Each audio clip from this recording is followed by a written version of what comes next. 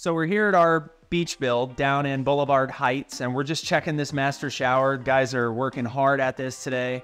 We've had a couple of changes, moved in some locations. We've got all of that done, but one of the processes that we that we go through here and very intentionally do so is to ensure that our our entire shower system is waterproof through thick and through thin, right? We want to make sure that this thing is good. Our process over here is to make sure that all the locations are done, the all the approvals are done, and all the QC's been done. The one of the most important things we could do is to ensure that the shower pan has been has been properly uh, inspected through the QC process, and then we upload those photos into Buildertrend to ensure that we have something to come back to to showcase how this shower system went together.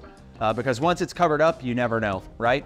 Um, so what we're here doing again is we're gonna do this test just to make sure uh, that we've got good slope on this. Now, this is a rough shower pan in this condition. We'll finish this up with the actual mosaic tile and it will help create some of the slope we have. But uh, while we're while we don't have water in today, we're gonna let rubber ducky sit aside. But we're just gonna test this slope, make sure that we've got good drainage back to the to the point drain here.